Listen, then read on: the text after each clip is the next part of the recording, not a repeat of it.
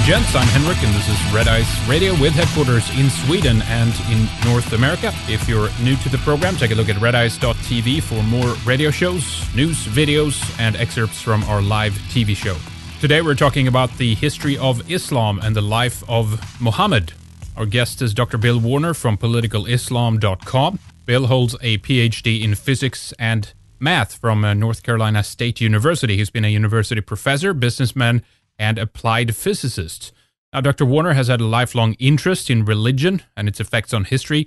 He studied the uh, source texts of the major religions for decades. Now, if you're a regular listener of the show, you might not agree with uh, you know Bill's views on 9/11 or some of the things such as who lobbies to open the borders or controls the school textbooks, etc. But the history part is a very interesting aspect that I think is very important to consider. So, uh, as usual, please don't throw out the baby with the bathwater. You have officially received a trigger warning. I mean, from our globalist friends and the mainstream media who back them, it's clear that with increasing immigration, we are not being told the truth about the history between Islam and Europe. You know, there were hundreds and hundreds of attacks on Europe before the Crusades were brought together. And they're telling us that this is a religion of peace, while we see terrorism, both on a large scale, but also on a very small scale, individual attacks.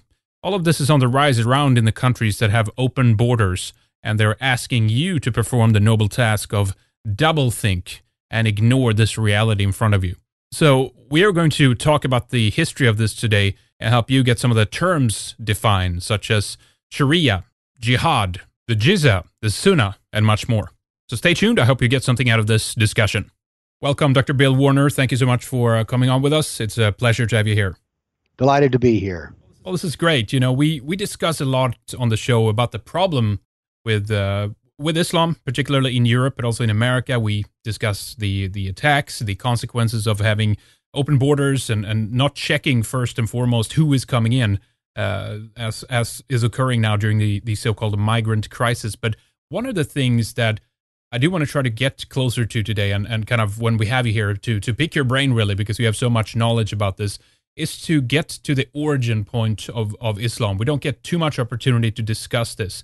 So, out the gates here, maybe you can tell us a bit about the life of Muhammad, what you know about this, I guess what we know academically about this, and how all of this mess that we find ourselves in today, how this got started. Well, let's establish that there are two Muhammads. There is Muhammad, whose biography we know in the Sirah, and whose acts and deeds we know in the Hadith. So there's that Muhammad. Then there is a historical Muhammad, and all of a sudden, if we deal with historical Muhammad, Muhammad, we're on very shaky grounds, because it turns out that his biography was written about roughly 150 years after he died. So let's not deal with the aspect of the historical Muhammad, but instead let's deal with the, shall I say, the accepted Muhammad, the one that every Muslim believes in. And we have, you notice we're talking here about Muhammad, not Allah, but all the basis we need to know about Islam is found in the statement of the Shahada, which is there is no God but Allah, and Muhammad is his prophet. That tells us that we need to study Allah, which is the Quran. Now, oddly enough, when we study the Quran, which is where the average person thinks Islam is found, we discover that there's not enough in the Quran to be a Muslim. I mean, you cannot be a Muslim because not a single one of the five pillars of Islam is found in its entirety and how to do it in the Quran. But the Quran gives us a way out, and that way out is found in the fact that there are 91 verses in the Quran which state that Muhammad, she is the perfect pattern for all people, and that all men are to follow and women are to follow him in every way into the smallest detail. So even the Quran takes and points to Muhammad. And so he, if we're going to understand Muhammad, to understand Islam, we need to understand Muhammad. Now, yeah. this is good news because the Quran is famous for not being able to be read or understood. But Muhammad, we've got a man. He has a history of personal life. We can understand that he gets hungry. We can understand that he has sex. We can understand he becomes angry. So we're dealing with someone we can well understand. Now, having said that, we need to first examine Muhammad's life and see that it, his life as a prophet breaks down into two separate, different people. He preached the religion of Islam in Mecca for 13 years and persuaded roughly 150 Arabs to become Muslims, about 10 a year. He left Mecca at the insistence of the Meccans. They actually ran him out of town. And when he went to Medina, So Muhammad was driven out of Mecca. He didn't leave on his own. And when he went to Mecca, he transformed into a politician and a jihadist. Now, this is not something that I'm making up or it's some sort of slander or put down. This is clearly, clearly recorded in the Sirah, the life of Muhammad. Now, here's what's important he was involved in many assassinations. As a matter of fact, he had roughly a, he, there was roughly a jihad event on the average of about every five to six weeks for the last nine years of his life. But by the practice of jihad in politics, he became completely saturated. They everyone in the area around the central Arabia became a Muslim. So we have here the preacher was a failure, but the politician jihadist was an absolute success. So therefore, we get an insight then into Islam. It is the religion of peace and it is the politics of jihad. Why do we know this? Because that's what Muhammad's life is like. And there are 91 verses in the Quran which say that his life is to be endlessly repeated until every human being becomes a Muslim. Amazing. What do we know about? Obviously, we know in Persia you had Zoro- Zoroastrianism, mm-hmm. but in, but in the area that he was, uh, uh, you know, early in his life, what kind of religion was there? A religion there that we know of? Pa- just there were pagans, I guess, believed in multiple well, gods. There were, there were pagans. Well, from the Sirah, we learn all this information. we learn that, for instance, there were pagans, uh, and then there were Jews, and there were Christians. Now, in the town of Medina, we have reference to Christians. As a matter of fact, there's a Christian slave who appears in the Quran, in which it is said, We know that they're saying that you get your information from this man who is not an Arab, but this Arab, this Quran is written in perfect Arabic. Well, Muhammad used to spend a lot of time talking to a Christian slave in the marketplace. And so the Meccans said, Ah, see, he's getting this stuff from them. So know from the Sirah that there were references to Christians, but mostly pagans. Now, interestingly enough, the they were polytheist pagans, and there were it was said 360 different religions that were found in the Kaaba. That is the central temple or the central spiritual site within Mecca. 360 religions were found there. The point is is that polytheists are inherently tolerant. So we know that there were many tolerant pagans or polytheists in Mecca. We know there were some Christians, but we know that there weren't any Jews. How do we know that? Because when you read the Quran written in Mecca, and there are two Qurans that match his life, there's the early Quran written in Mecca and the latter Quran written in Medina, and they're very different books. When we read the early Quran written in Mecca, we find that it retells all of the stories of the Jews, but they're slightly changed. The story of Noah and Moses and Adam are all retold to point out that if you do not believe the prophet of Allah, you will be destroyed. Now, here's what happened about him and the Jews in Arabia, which was this. When he went to Mac- Medina, the town was half Jewish.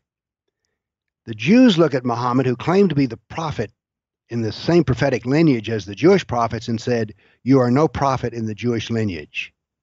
Well, no one told Muhammad no, at least permanently. Two years later, Medina was Judenrein, cleansed of Jews. The three Jewish tribes were exiled, annihilated, enslaved, and assassinated. So, therefore, I'm giving you the question was what about the religions of uh, in the Arabian Peninsula? And what we find is if we read the Sirah, that we find that there were some Christians, there were some Jews, and there were many polytheists. Now then, briefly, in the early Quran, Mecca, the Jews are well spoken of. But in Medina, once they told him that he was not the prophet, not at least of their lineage, the told the whole tone changes. And indeed, the Quran written in Medina is viciously Jew hatred. I've read Mein Kampf, and indeed, there's more Jew hatred in the Quran written in Medina than there is in Mein Kampf. It's both. it's just much worse, both in quantity and quality. So that's interesting. So something happened. Do you know if it actually was born of a Jewish mother? So was he uh, technically Jewish? You know, I don't know about that. Can't speak. All right, interesting. Let me ask you a bit more of what actually what happened and why. I mean, I, am not saying that the religion, religion was accepted. We're talking about force here, but you're saying he converted about 10 people a year, right? We're talking about a enclave of, of about 150 people in the beginning. Yes. How how did this expand? How did this explode? Well, the expansion came. the expansion comes, and by the way, this story of Muhammad should be made into a movie.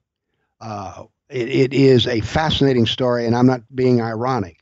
The man is born an, is born, becomes an orphan, and rises up to being the first ruler of a united Arabia. I mean, it's a fabulous story, but unfortunately, it's not well known. And why did we go from 150 to total saturation that it was every Arab becomes a Muslim? Because he had a new method in which you could worship a god and make money. You see, for a long time, for the first year when Muhammad was in Mecca, the Muslims were very poor. Now he had a score to settle in Mecca. Number one, they had thrown him out of town and made him look bad. They humiliated him. And the other was they had money and he had none. Now remember, Muhammad made his money as a caravan superintendent. That is, he knew the caravan trade. So he raided after it took eight tries to get it, but he became successful when he raided one of the caravans uh, from Mecca. Now then, 80% of the booty went to the raiders, 20% went to Muhammad. Mm-hmm. Well, now then he had a religion with a politics that paid money, good money, big money. And so as Osama bin Laden said, people love a strong horse. Well, all of a sudden, Muhammad became a strong horse, and he became attracted more people. His violence also attracted people. Now, this is hard for people to understand. But in America, after 9 11, September 11th, 2001, the attack on the World Trade Centers, many people converted to Islam. Let me tell you a small story that comes from the Sirah, the life of Muhammad. Muhammad, and I forget at which stage of this of cleaning out the Jews, said, Kill every Jew you can lay your hands on. And this one man killed his business partner. And his brother approached him and says, How can you have done this? You have killed the man who put the fat on your belly. He said, Muhammad said to kill him. The brother looked at the other brother and said, You mean if Muhammad said to kill me, you would kill me? He said, Yes, I would.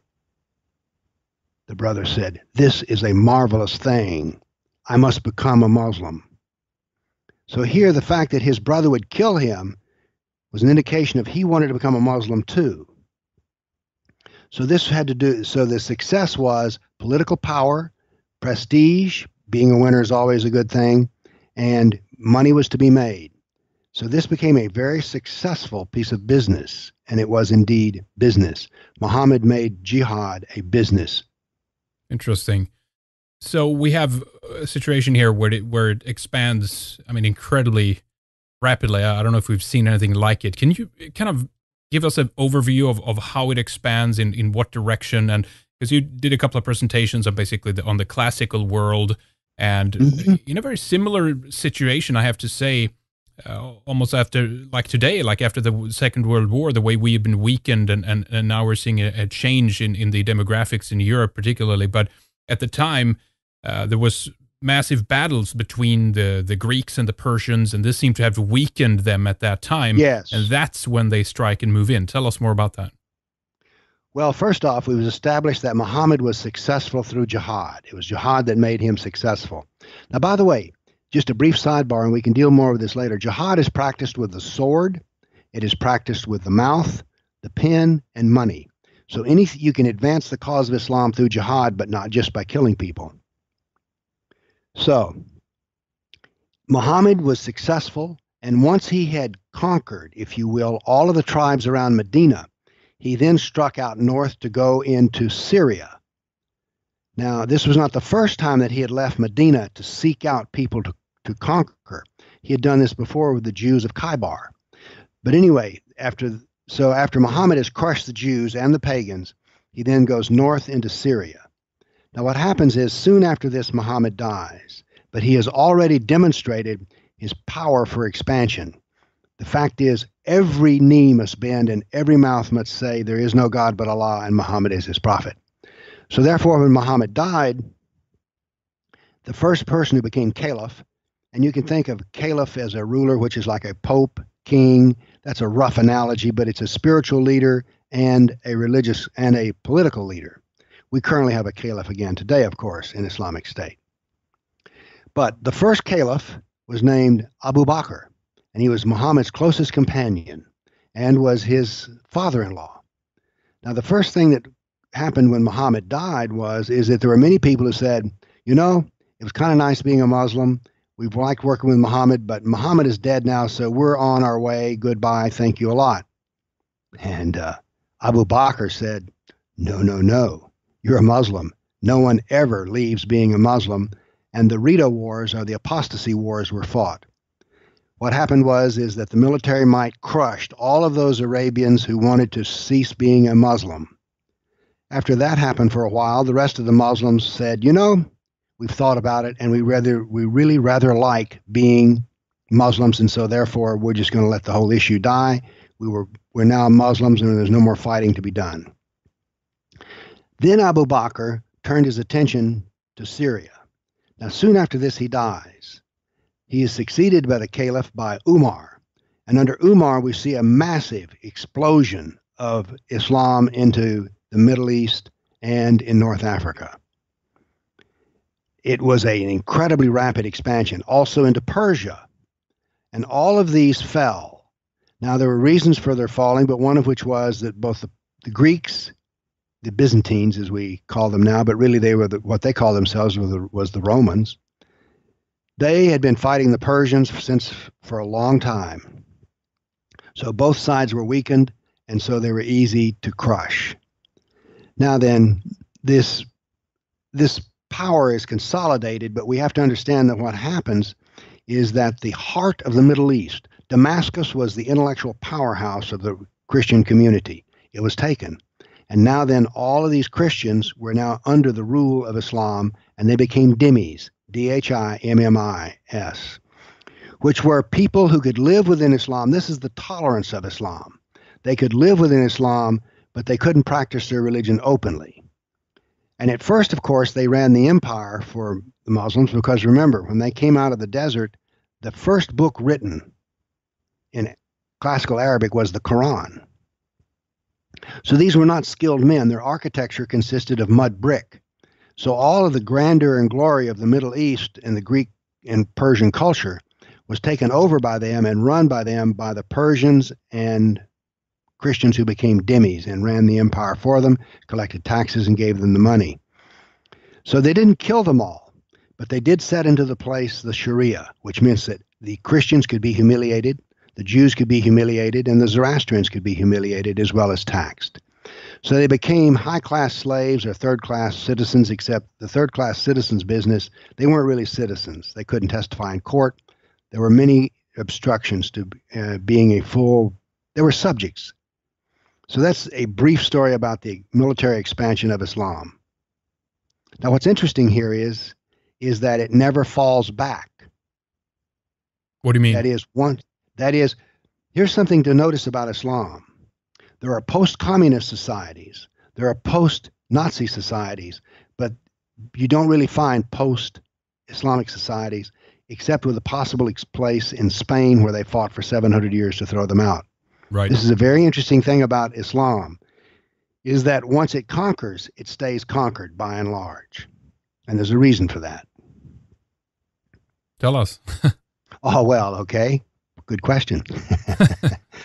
that question is they become dhimmis and they are humiliated. They're humiliated about their social status. If you're a dhimmi and your daughter is raped by a Muslim, you can't go to the police and complain about it. You're not allowed to testify in court. So a constant process of humiliation and degradation goes on. So the tolerance of Islam means that a Christian or a Jew or a Zoroastrian can never have a, be a boss over a Muslim. It means if they're insulted, they can't return the insult. If you throw if you if you throw rocks at a Christian or a Jew, he can't throw rocks back, nor can he even complain. There's a humiliation.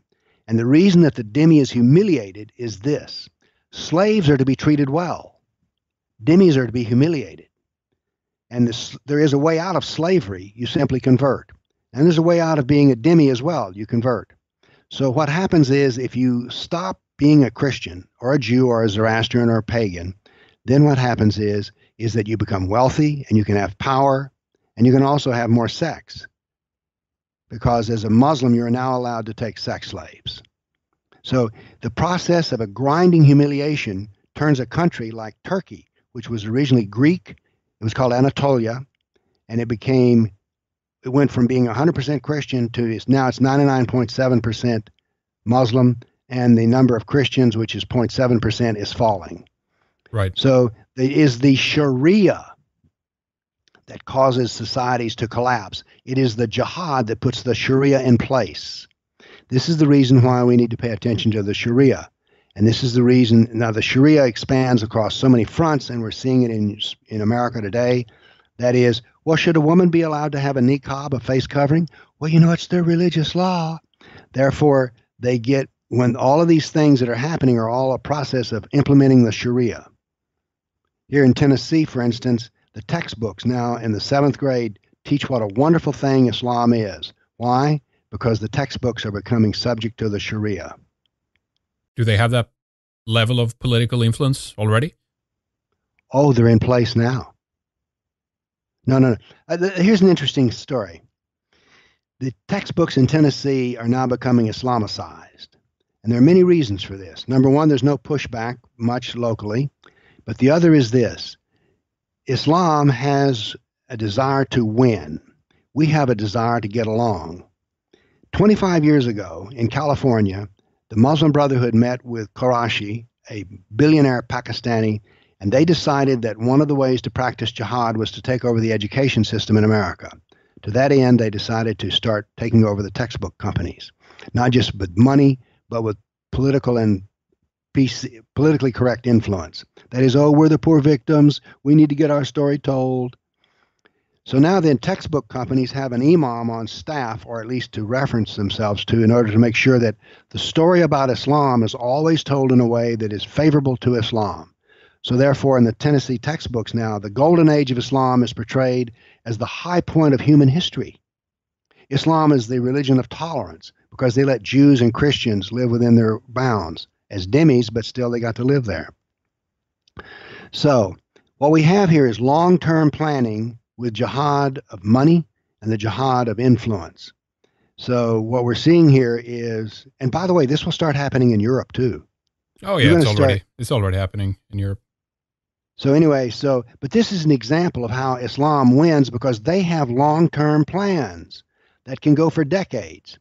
You see, we, the Kafirs, K A F I R S, the non believers, we keep time with a watch. They keep time with a calendar. There's a big difference. They're infinitely patient, and we need to get this done now. Interesting. There, there, are several points here uh, that you, what you mentioned that we should kind of break down and discuss a bit further.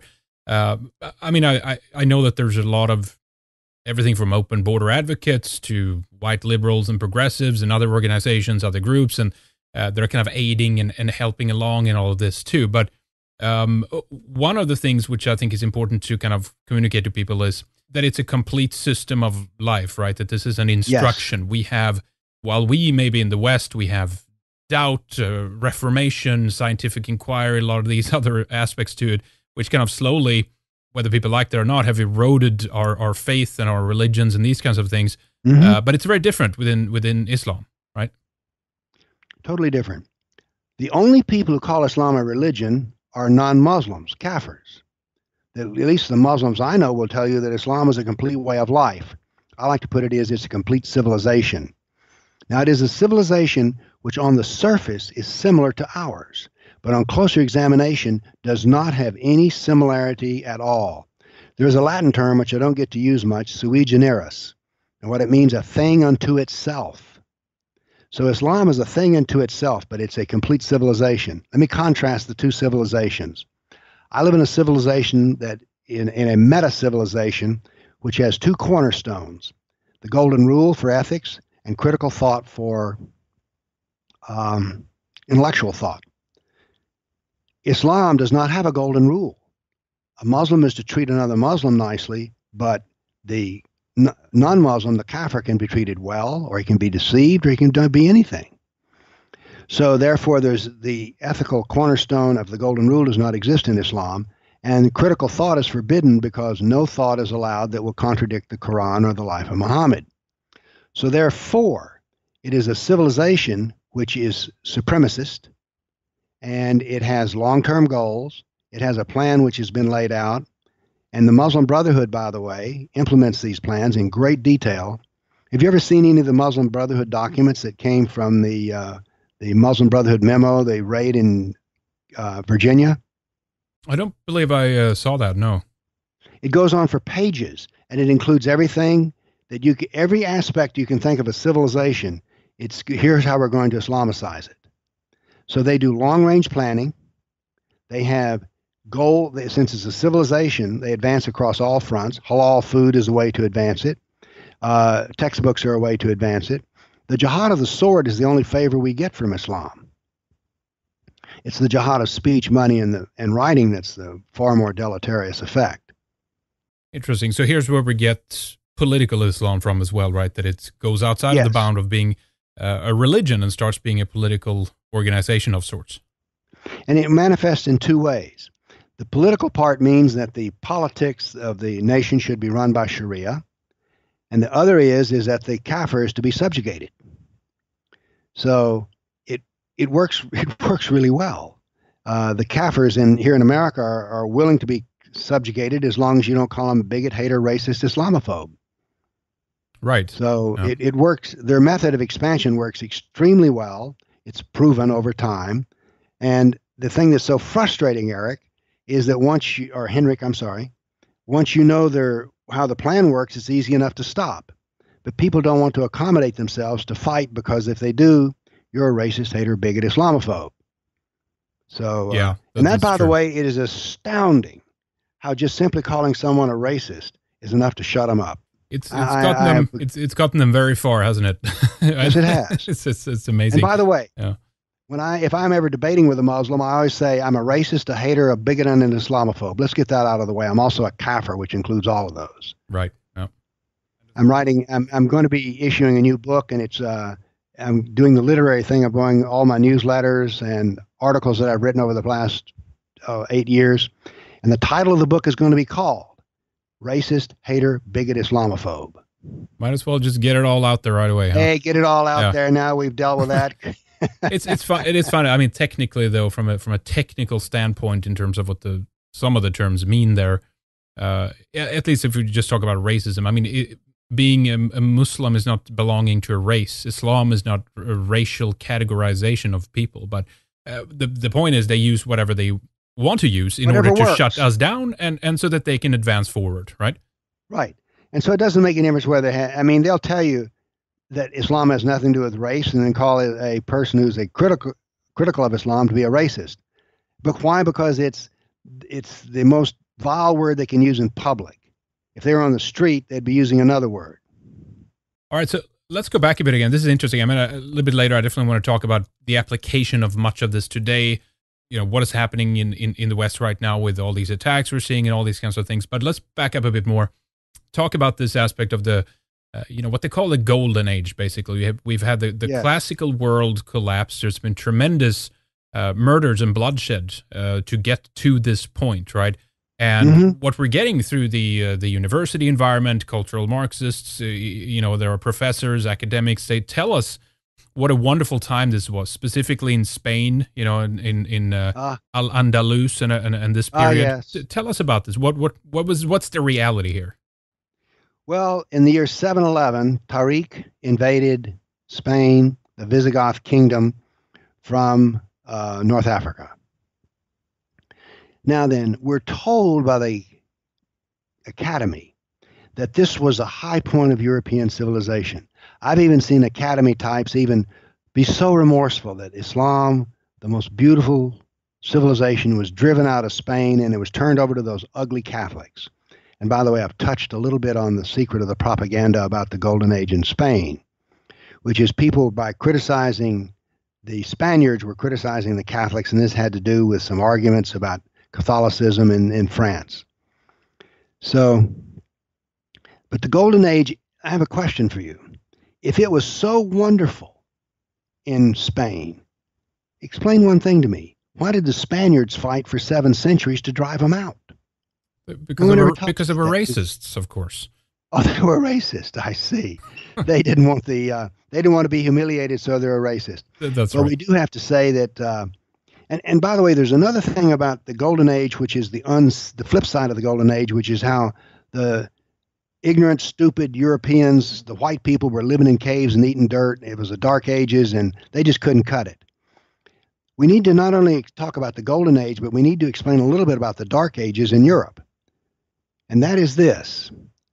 Uh, the we think of when we think of Muslims, we think of desert, at least in the early Muslims, and we think of camels.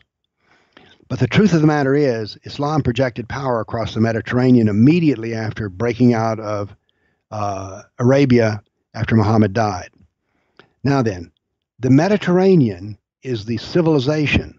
When we think of civilizations today, we think of Europe, Africa, Asia, Australia, North America, South America, or whatever. We think of continents, we think of bodies of land. But the truth of the matter is that this world in Europe and Africa and the Middle East was a Mediterranean culture. It was you could get from Alexandria, Egypt to Rome in two weeks' time in a boat. I think I'm right on that, maybe 10 days. But to go from Alexandria to Nigeria, which is sub Saharan Africa, could take years. So, therefore, even Egypt was part of the Mediterranean culture. North Africa was part of the Mediterranean culture. But the jihad of the ocean, the piracy, closed down the Christian trade. Archaeology, there's a wonderful book uh, written, it's a 1,400 page backbreaker, but it's called The Rise of the European Economy. And it's based all on archaeology. One of the most interesting things is, is when Islam ruled the Mediterranean, 90% of the Christian ships didn't do any business. That is, the basically you can tell how many ships were sailing. There's a certain percentage that are going to be sunk. Well, it turns out that when the Mediter- when the Mediterranean was ruled by the Muslims, Christian ships weren't sunk because they weren't sailing. Now then, papyrus was cut off from being sold from Egypt to Europe. Now imagine that you and I suddenly woke up in the morning, Henrik, and there was no paper and there was no telephone. There was no way to communicate. And that all the traffic into our town was reduced to 90% of only to only 10% of what it was. So the trucks that, and the planes and the trains that bring in produce and other goods to be sold in commerce, 90% of them don't get here. What do you think that's going to do to the economy? What do you think that's going to do to education? The internet's down, the phones don't work. So we would have in our own life a dark age, not because we're stupid, but because we simply aren't allowed to do business.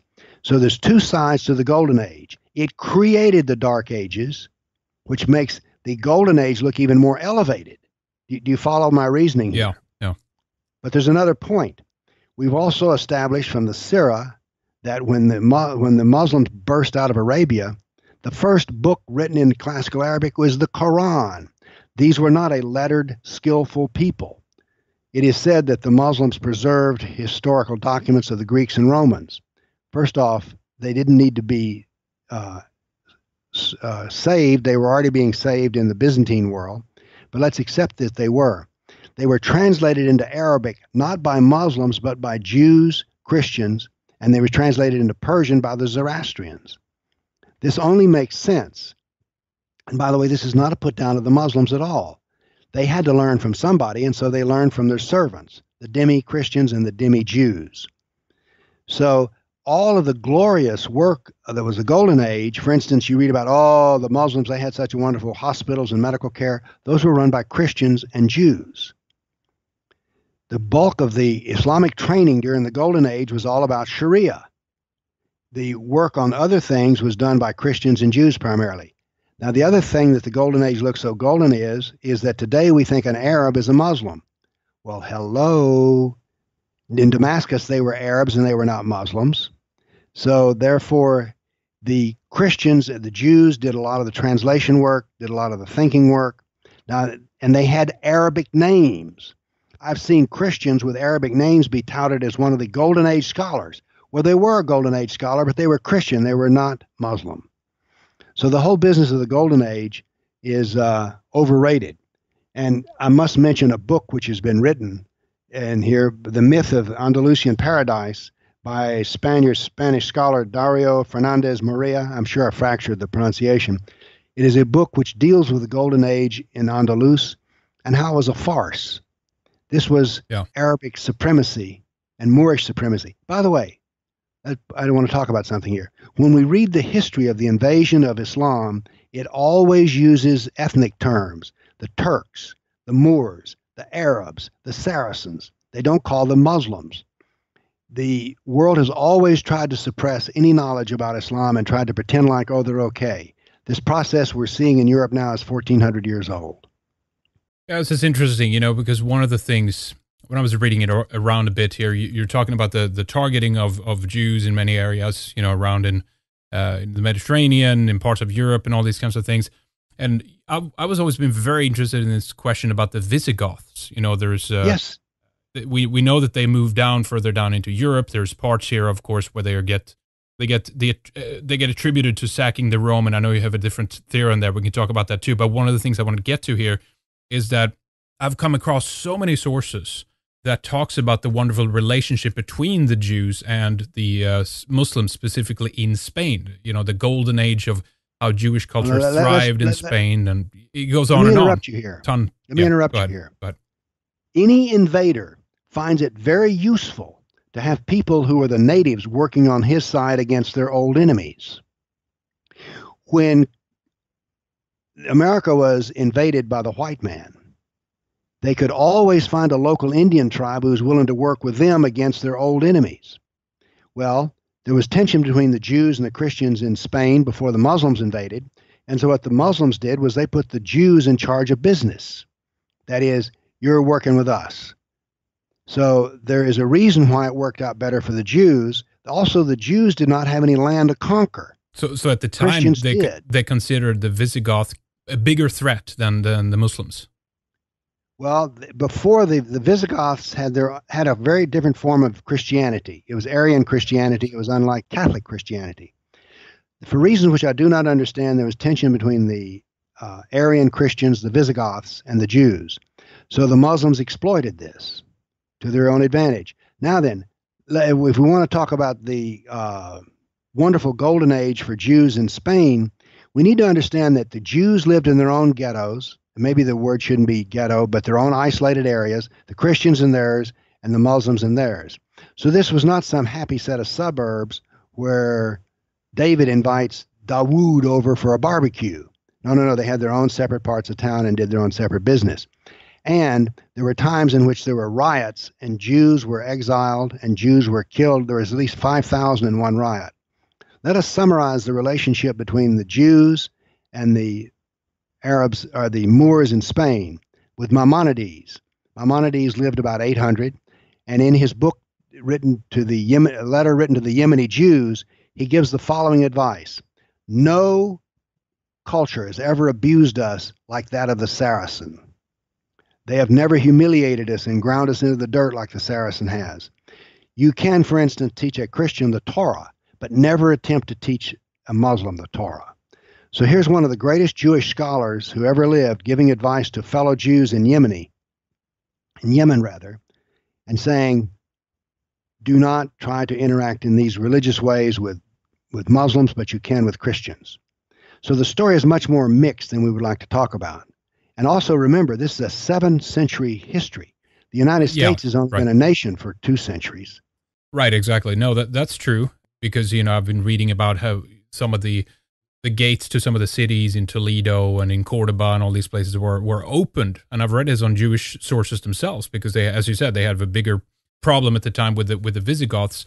Uh, and and then afterwards, you you know, it, it, takes Spain, as you say, or the Spaniards about 700 years to clear clear this problem out. And what happened in in go all the way up to 1492 when they take care of this problem uh, I believe that Catholics at that time boots out both people, right? They boot out the Jews and they boot out uh, the Muslims as well, and they try to regain control over their nation again. But they have always been blamed for that. I even saw a news story.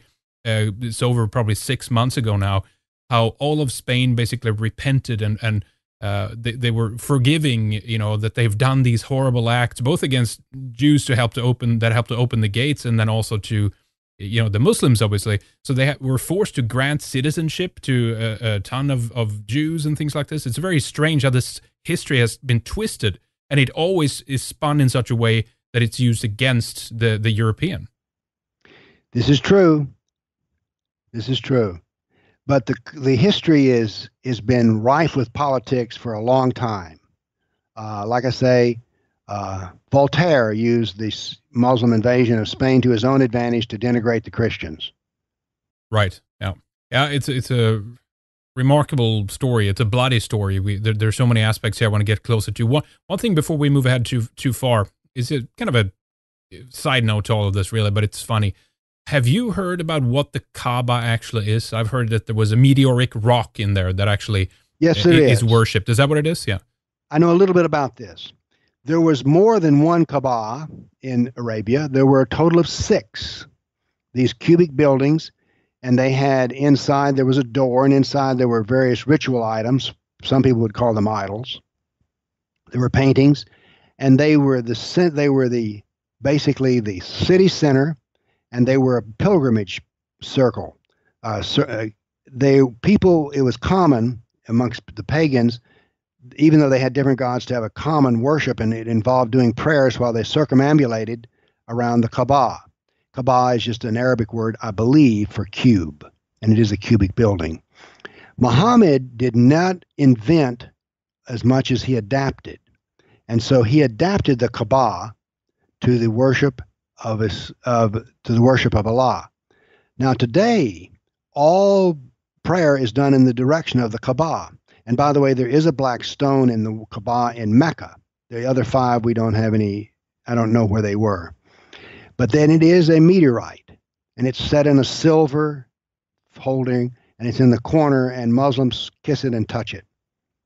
Uh, there's a before Muhammad, there was a lot of worship of stones.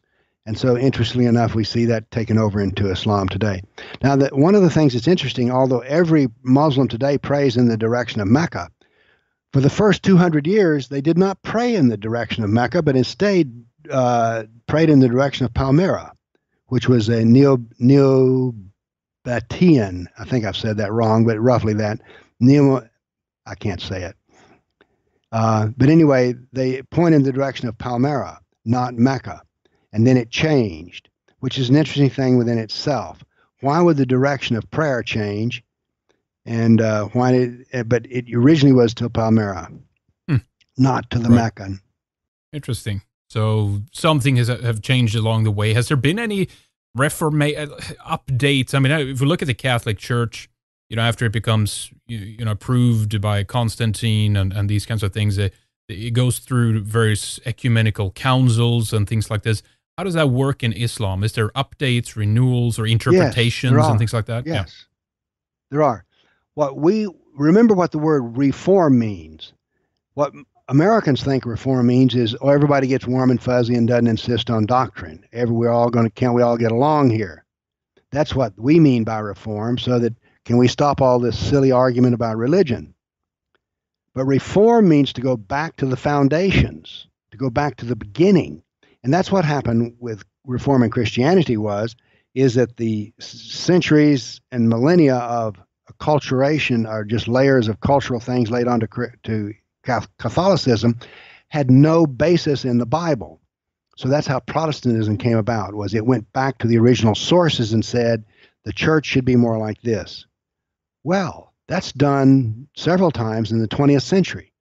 We've had many reform movements. The Taliban, Al Qaeda, Boko Haram, and Islamic State are all reform movements. What they do is they go back. Have you ever read Dabiq, uh, which is the magazine from Islamic State? No, I haven't. It is a fascinating read if you're into the doctrine of Islam. They go through in excruciating detail. For instance, they were talking about sex slaves. They say, people are criticizing us for taking sex slaves. But look, here in the Quran, it advocates sex slaves. Here in the Hadith, we find sex slaves. Here in the Sirah, we find sex slaves. Matter of fact, I learned something from the reading Dabiq magazine, which was only one companion of Muhammad did not have a sex slave. So therefore, the point I'm making here is, is that Islamic State is a reform movement going back to the original status of Muhammad and, and the Quran, in which sex slaves, that is captured kafirs, can be used for pleasure and sex. It is your right as a jihadi to have that. The point I'm making here is is that Dabiq magazine is filled with theological arguments about how Islamic State is pure Islam. And I agree with them. Islamic State is the purest Islam that you can find. Now, tell us. So it is a reformation. Uh, yeah, interesting. Uh, we'll talk more about that in a second. Tell us, though, about the history of this. Many people don't know that, about the incredible amounts of both sex slaves from Europe into the harems and all these kinds of things, but just oh. slaves in general from Europe. Well, let's go back to Spain. The first thousand sex slaves that were taken out of Spain to North Africa, the Muslims were stunned. They had never seen such beautiful women. And as a matter of fact, they decided that they would make a specialty of blonde women. And there was a standing work order or purchase order or whatever that in Baghdad they were to li- deliver this many blonde virgins, Christian, they didn't care whether they're Christian or not, blonde virgins for the harems of Islam. Now, by the way, when we see, I remember you can see old paintings of the harems, and this is pre Playboy and pre porn on the net. And these are alluring sexual photographs of women in gauzy outfits, and they're softly erotic. Hello, those women were all captured slaves and they were forced into sex. There is nothing romantic about a sex slave. Nope. And yet nope. this was a this was a centuries old business run out of Spain for the pleasure of the Arabs in the Middle East. Yeah, it's incredible. And we never hear uh, we never hear about that. You know, whenever that's never recognized. It's almost like the the attitudes is that Europe was only the oppressor, we were never the the victim. you know. Well, if you study Islam, you'll discover that everyone is the victim. That's the theme of the Quran. Let's define jihad, what that what that is and what that means. There was some of the terms I wanted to go through here so people know uh, what these things are. First off, let's be clear. Jihad does not mean war. Jihad does not mean holy war. Jihad means struggle. Harb, H A R B, is war. Jihad is struggle. Struggle can manifest along many avenues. It can be the struggle of the sword, it can be the struggle of writing, it can be the struggle of uh, speaking, and the struggle of money. There is a lot of verses in the Quran that talk about how that if you don't want to be a jihadi, you need to be giving money to those who do want to be a jihadi because you get an equal share of the business. That is the reward, the spiritual reward. So money, giving money can be part of jihad. Uh, Muhammad used money to buy the hearts of those who were weak. And by the way, in American politics, uh, Hillary Clinton received mo- around $20 million, or the Clinton Foundation did, from the Saudis. And the Saudi king told the princes they were to pony up $20 million to the Clinton Foundation, and it was to be held as part of the, the zakat, the tax one of the uses of the charity tax is to strengthen the hearts of those who are weak. In short, a bribe. So jihad can be done with money as well, a very powerful and useful form of jihad. Jihad is a Islam is enormously practical. It works. It works and works well. And the whole concept of jihad works and works well because it means that you can practice jihad by writing a letter to the editor. You can practice jihad by cons- assuring someone at work that you're a Muslim and you know that Islam is the religion of peace. Oh, of course, naturally. So, of course. so, tell us a bit, uh, Bill, here before we take a break about uh, obviously the website politicalislam.com. But I know that you're uh, you, you, told me before we started here that you're updating many of your books. Yes. Uh, t- tell us more about them and how how, how many you have and, and where you'd recommend people to begin uh, if they want to get into your work. Well, actually, let's. I do have a website, politicalislam.com, and I have written and put together study courses. One of the study courses is the Foundations of Islam. It's a series of four little books, and that, by the way, they're deliberately small because when I wrote big books, people didn't want to buy them. Then I wrote a political pamphlet of about 60 pages on Sharia law, of which I've sold about 60,000 copies of. What I discovered is people will read little bitty books, but they won't read big books. So I've put together a self study course called The Foundations of Islam, in which you have a little bitty Quran, only 80 pages long, a little bitty Life of Muhammad, a little bitty Hadith, and a little bitty set of lectures that guide you through the whole thing. So I'm, into, I'm, a, I'm a college professor, retired. And so one of the things I love to do is teach. And so one of the things I've done is I've put together the first self study courses. And he says proudly. In a month's time, we're going to announce the first web based training on political Islam that's ever existed. Very good. So there's like a four level uh, steps here, basically, that people Yes. can get into uh, Yes. that breaks things down and some of these concepts. Because yeah, I mean, I've heard I've heard that for for years too. In terms of, I mean, I haven't read uh, the entire Quran. I've read passages. I've read you know a little bit here, a little bit there. Uh, try to get things you know understood from a better perspective. Some people claim, well, you got to read this version or this or blah blah blah whatever. But what you've done there is obviously to kind of break down these concepts and give them in an easy way for people who don't have the time to sift, sift through the Quran, you know, for themselves, right? I have published three different Qurans, and the, the title of the big one is called A Simple Quran.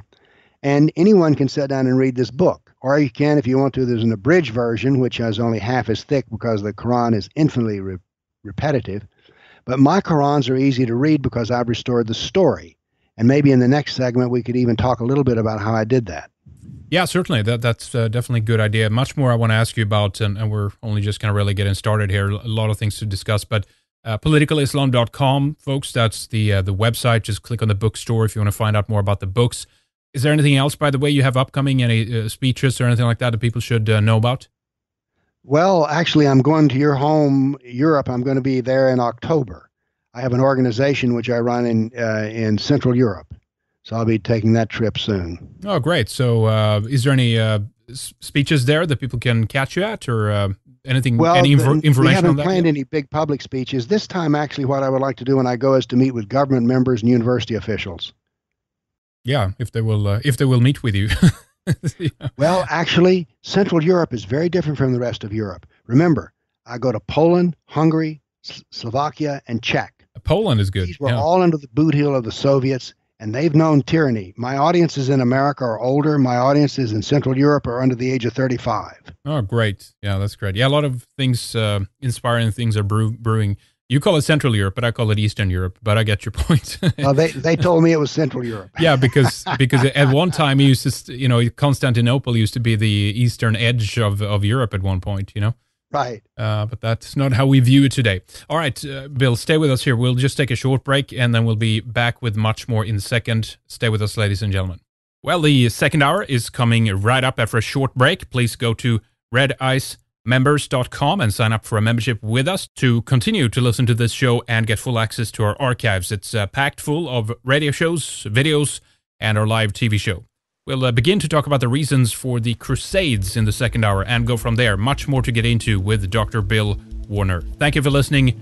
We'll be right back after the break.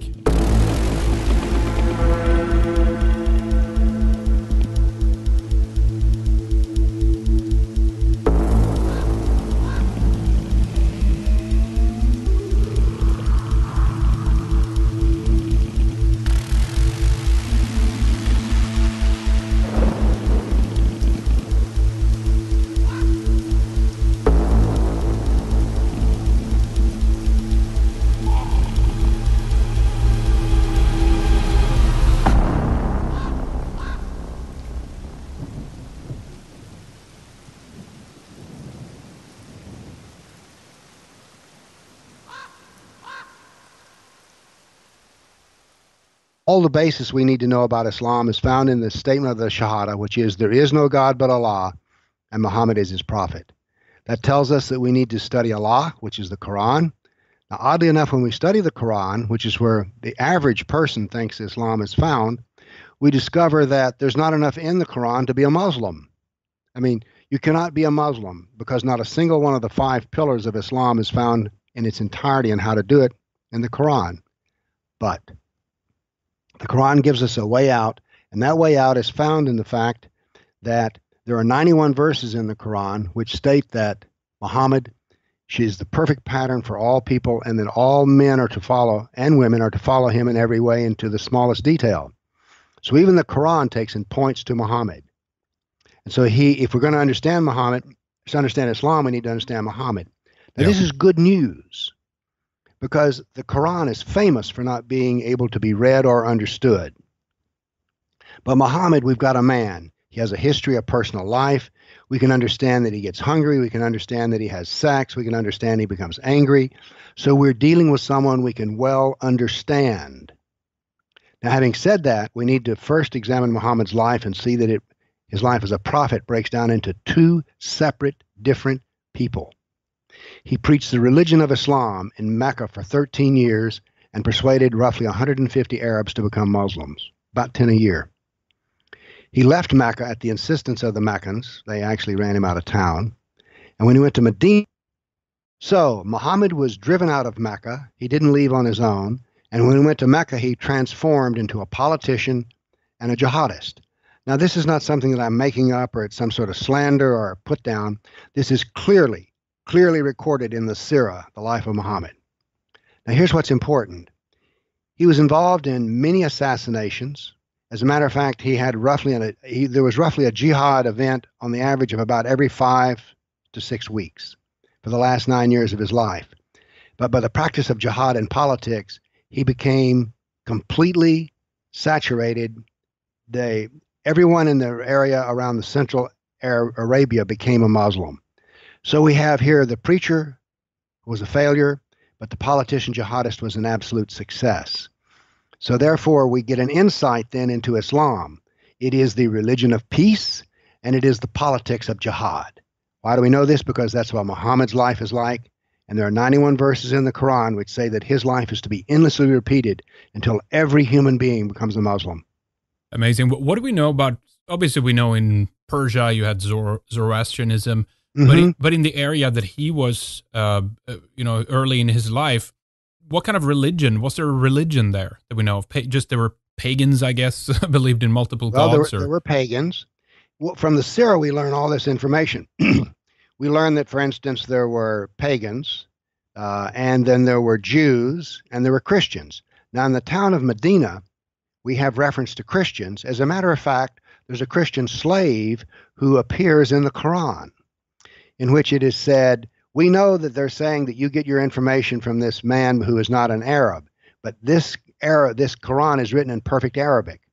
Well, Muhammad used to spend a lot of time talking to a Christian slave in the marketplace. And so the Meccans said, Ah, oh, see, he's getting this stuff from them. So know from the Sirah that there were references to Christians, but mostly pagans. Now, interestingly enough, Muhammad made his money as a caravan superintendent. That is, he knew the caravan trade. So he raided after it took eight tries to get it, but he became successful when he raided one of the caravans written, uh, from Mecca. Now then, 80% of the booty went to the raiders, 20% went to Muhammad. Mm-hmm. Well, now then he had a religion with a politics that paid money, good money, big money. And so, as Osama bin Laden said, people love a strong horse. Well, all of a sudden, Muhammad became a strong horse, and he became attracted more people. His violence also attracted people. Now, this is hard for people to understand. But in America, after 9 11, September 11, 2001, the attack on the World Trade Centers, many people converted to Islam. Let me tell you a small story that comes from the Sirah, the life of Muhammad. Muhammad and I forget at which stage of this of cleaning out the Jews, said, Kill every Jew you can lay your hands on. And this one man killed his business partner. And his brother approached him and says, How can you have done this? You have killed the man who put the fat on your belly. He said, Muhammad said to kill him. The brother looked at the other brother and said, You mean if Muhammad said to kill me, you would kill me? He said, Yes, I would. The brother said, This is a marvelous thing. I must become a Muslim. So here, the fact that his brother would kill him was an indication of he wanted to become a Muslim too. So this had to do. So the success was political power, prestige. Being a winner is always a good thing, and money was to be made. So this became a very successful piece of business, and it was indeed business. Muhammad made jihad a business. Interesting. So we have a situation here where it where it expands. I mean, incredibly rapidly. I don't know if we've seen anything like it. Can you kind of give us an overview of, of how it expands in, in what direction? And because you did a couple of presentations on basically the, on the classical world, and mm-hmm. in a very similar situation, I have to say, uh, almost after like today, like after the Second World War, the way we have been weakened, and and, and now we're seeing a, a change in in the demographics in Europe, particularly, but at the time uh, there was massive battles between the, the Greeks and the Persians, and this seemed to have weakened them at that time. Yes. And that's when they strike and move in. Tell us more about that. Well, first off, it was established that Muhammad was successful through jihad. It was jihad that made him successful. Now, by the way, just a brief sidebar, and we can deal more with this later. Jihad is practiced with the sword, it is practiced with the mouth, the pen, and money. So any you can advance the cause of Islam through jihad, but not just by killing people. So Muhammad was successful, and once he had conquered, if you will, all of the tribes around Medina, he then struck out north to go into Syria. Now, this was not the first time that he had left Medina to seek out people to, to conquer. He had done this before with the Jews of Khaybar. But anyway, after so after Muhammad has crushed the Jews and the pagans, he then goes north into Syria. Now, what happens is soon after this, Muhammad dies, but he has already demonstrated his power for expansion. The fact is, every knee must bend and every mouth must say, There is no God but Allah, and Muhammad is his prophet. So, therefore, when Muhammad died, the first person who became caliph, and you can think of caliph as a ruler, which is like a pope, king, that's a rough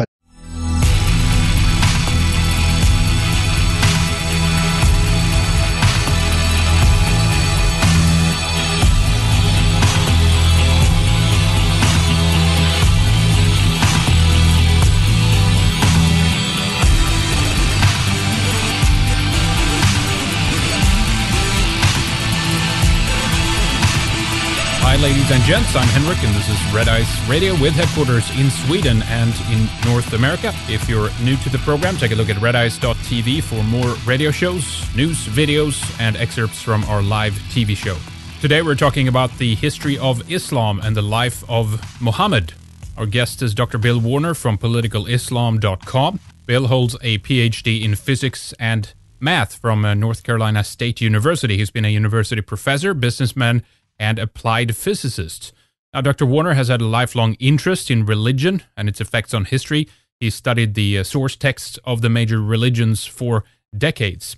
Now, if you're a regular listener of the show, you might not agree with uh, you know Bill's views on 9/11 or some of the things such as who lobbies to open the borders or controls the school textbooks, etc. But the history part is a very interesting aspect that I think is very important to consider.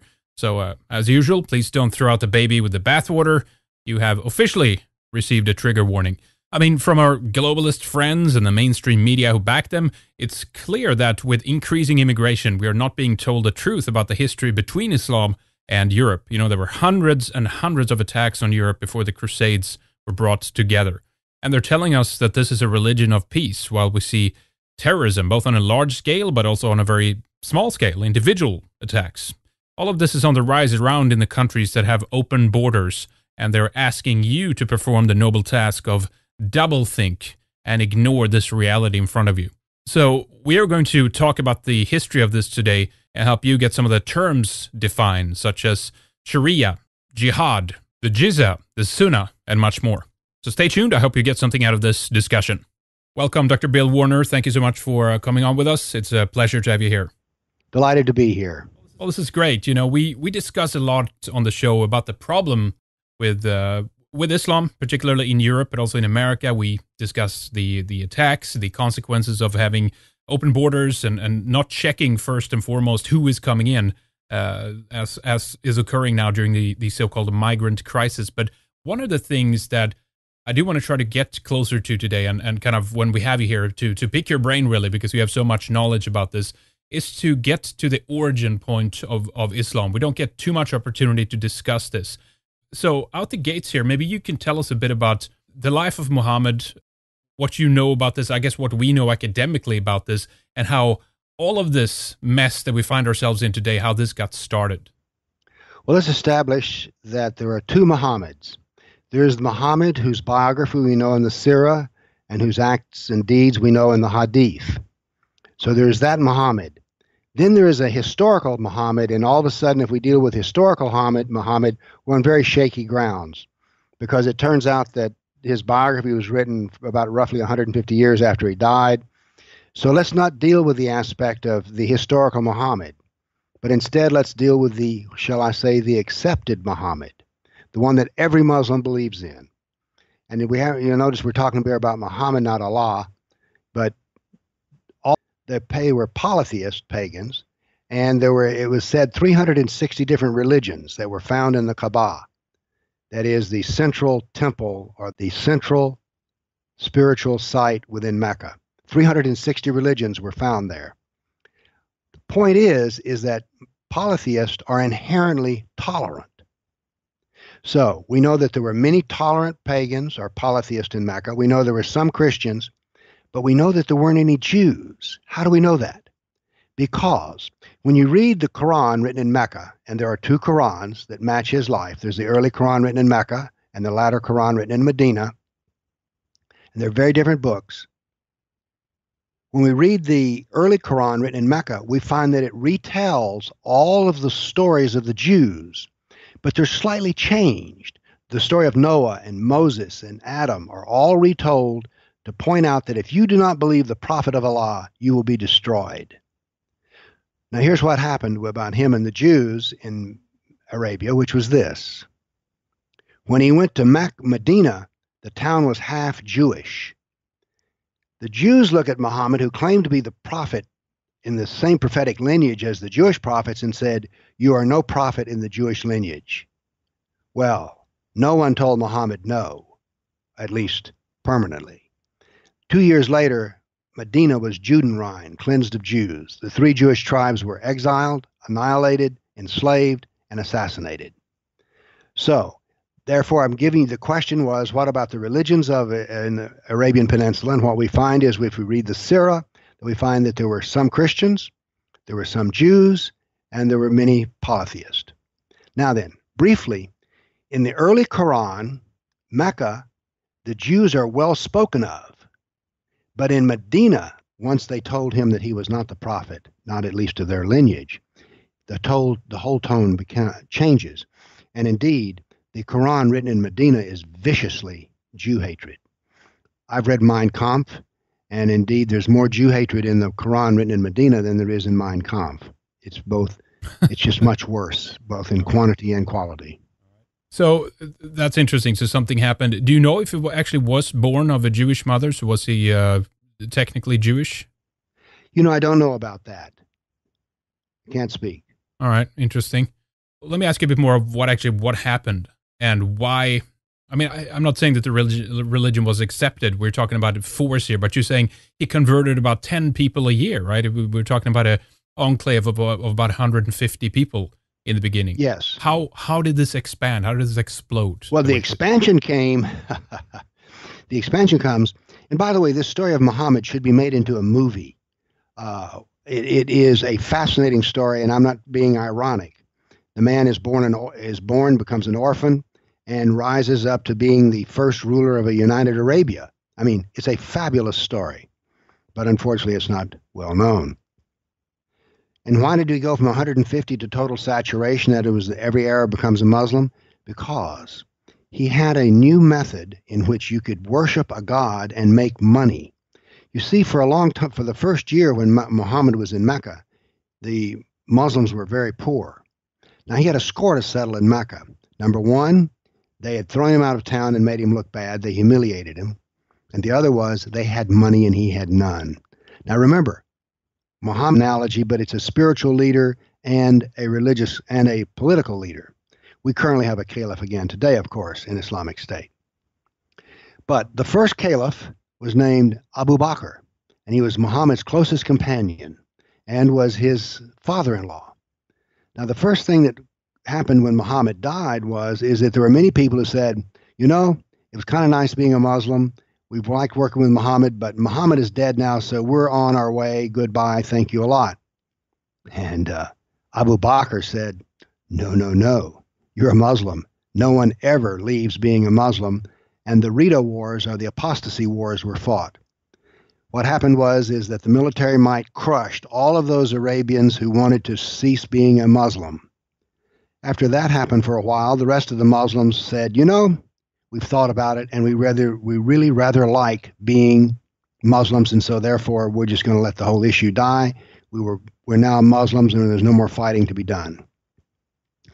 Then Abu Bakr turned his attention to Syria. Now, soon after this, he dies. He is succeeded by the caliph by Umar. And under Umar, we see a massive explosion of Islam into the Middle East and in North Africa. It was an incredibly rapid expansion, also into Persia. And all of these fell. Now, there were reasons for their falling, but one of which was that both the, the Greeks, the Byzantines, as we call them now, but really they were the, what they call themselves was the, was the Romans. They had been fighting the Persians since for a long time. So both sides were weakened, and so they were easy to crush. Now then, this this power is consolidated, but we have to understand that what happens is that the heart of the Middle East, Damascus was the intellectual powerhouse of the Christian community. It was taken. And now then all of these Christians were now under the rule of Islam and they became dhimmis, D H I M M I S, which were people who could live within Islam. This is the tolerance of Islam. They could live within Islam, but they couldn't practice their religion openly. And at first, of course, they ran the empire for the Muslims because remember, when they came out of the desert, the first book written in classical Arabic was the Quran. So these were not skilled men. Their architecture consisted of mud brick. So all of the grandeur and glory of the Middle East and the Greek and Persian culture was taken over by them and run by them by the Persians and Christians who became dhimmis and ran the empire for them, collected taxes, and gave them the money. So they didn't kill them all, but they did set into the place the Sharia, which means that the Christians could be humiliated, the Jews could be humiliated, and the Zoroastrians could be humiliated as well as taxed. So they became high class slaves or third class citizens, except the third class citizens business, they weren't really citizens. They couldn't testify in court. There were many obstructions to uh, being a full, they were subjects so that's a brief story about the military expansion of Islam. Now, what's interesting here is is that it never falls back. What do you mean? That is one. That is, here's something to notice about Islam. There are post-communist societies. There are post-Nazi societies, but you don't really find post-Islamic societies, except with a possible place in Spain where they fought for 700 years to throw them out. Right. This is a very interesting thing